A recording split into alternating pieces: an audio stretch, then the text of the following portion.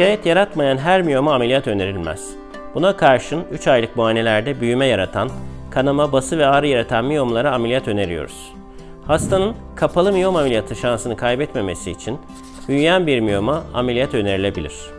Kliniğimizde çoğu ameliyat için laparoskopik yöntem önerilmekte olup hastanın açık ameliyata maruz kalmaması için şikayet yaratmayan küçük miyomlar 3 aylık muayenelerde e, takip sürecine alınır. Bu takip sürecinde eğer miyom belli bir büyüme eğrisi gösteriyorsa hastalarımıza kapalı miyomektomi önerilir.